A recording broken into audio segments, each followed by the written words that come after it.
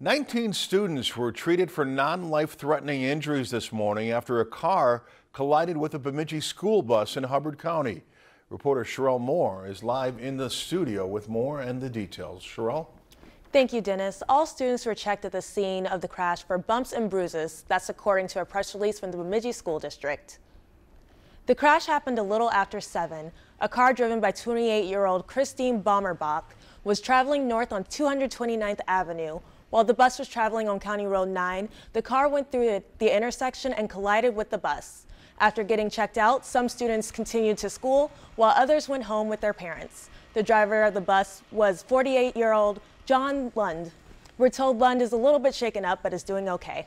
The bus driver, John Lund, did a wonderful job of maintaining control of the bus and staying with the students, calling for help, and making sure that all of our students stayed safe.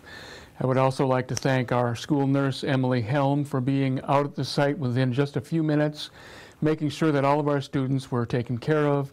The students were wonderful. They were answering questions and following directions. The bus was en route to pick up additional students, and then it was headed to Horace May Elementary School. Bommerbach was taken to Sanford Bemidji Hospital to be treated for non-life-threatening injuries. Dennis, back to you. Okay, thank you very much, Sherelle, for that live report from our studio tonight. We spoke with the Hubbard County Sheriff's Office about the crash. They say they're still gathering information and will not release any new updates until tomorrow. If you enjoyed this segment of Lakeland News, please consider making a tax-deductible contribution to Lakeland PBS.